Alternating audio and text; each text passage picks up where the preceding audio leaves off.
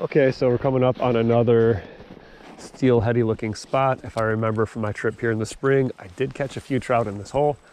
So I'm gonna fish the spinner through here and I'm gonna tell you guys about this rod that I'm fishing, which is my all-time favorite rod.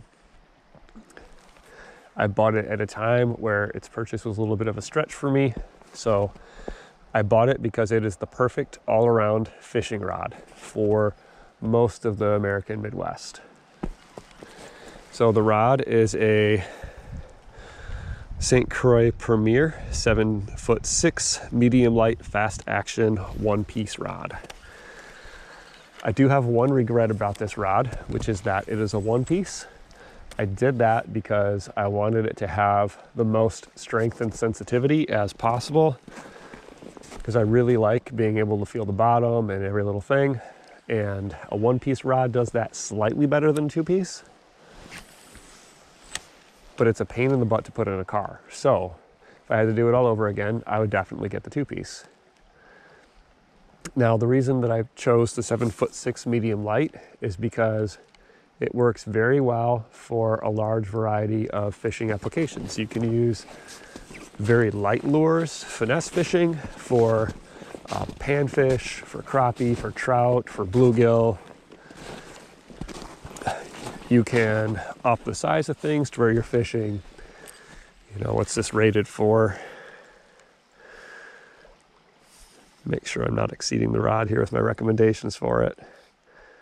Uh, one eighth to half ounce. So you can fish pretty easily a half ounce spoon out on a pier for coho salmon or uh, I wouldn't recommend it as a king salmon rod. However, a month ago, I was fishing in a river very much like this and managed to catch a 20 pound king salmon on a spinner two sizes larger than this.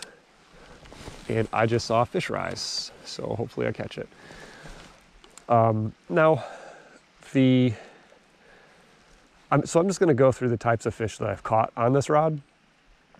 Uh, the far and away the most number of fish that I've probably caught on it are smallmouth bass. I bought this when I lived in Iowa. I did a lot of creek fishing, so I did a ton of drop shotting for smallmouth bass, and it got to the point where I could call my shots pretty much. If I went to a spot and I didn't catch a fish on my first three casts, um, I just knew I wasn't going to get one. But it was pretty much walk to this hole, throw your little finesse fish on your drop shot in, jiggle it twice, and if you did a good cast, you caught a fish immediately. Um, hundreds and hundreds of smallmouth bass that way in that little creek. After that, probably probably trout. Actually, I caught a lot of trout on this rod, a lot of browns, a lot of rainbows. I've caught a couple of steelhead, and I've caught a lot of coho on it and a few king salmon. I think I've caught two king salmon on this rod. Both of them were massive fish, like 30 inch fish. I feel like the rod was a little bit, a little bit taxed trying to get those king salmon in. Whoop, almost had a snag there. Um, but for the steelhead, it's been fantastic. I've caught a lot of fish on it.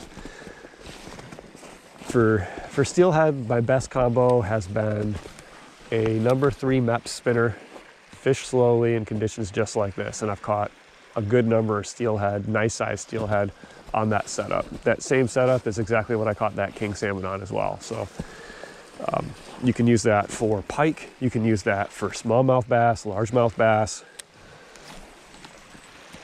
It's a little bit big for crappie. Maybe use a size one spinner for crappie, but that number three Mepps spinner with the seven foot six medium light rod is perfect.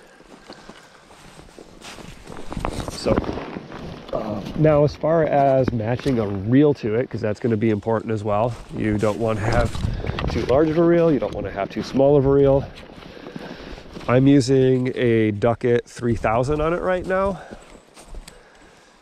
which is good for larger fish, for those smallmouth bass, for those uh, walleye, steelhead, fish of that nature.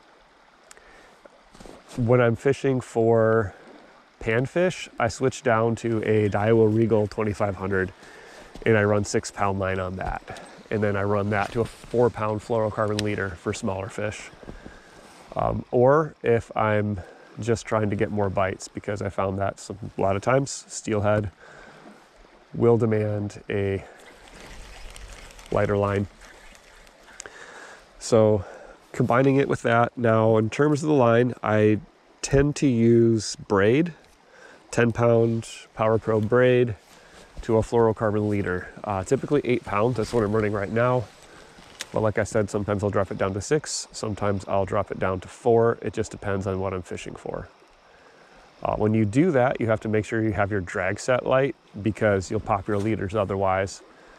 Uh, I have been experimenting with running 25 foot of monofilament down to my fluorocarbon leader so that I get a little more stretch from the mono so I'm not breaking off as many fish on the hook sets because I get excited.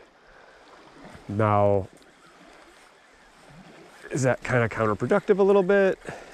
In some sense, yes, but my reason for doing it is that I make a lot of long casts in harbors or off piers.